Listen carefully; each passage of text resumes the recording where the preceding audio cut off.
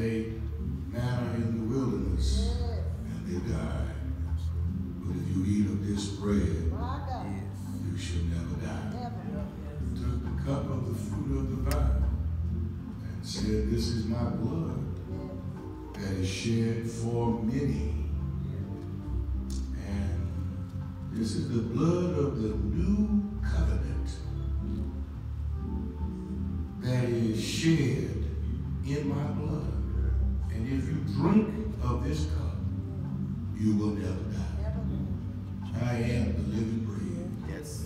I am Hallelujah. the living word. And as often as you eat of this bread, Yes. drink of this cup, you show forth my death and suffering.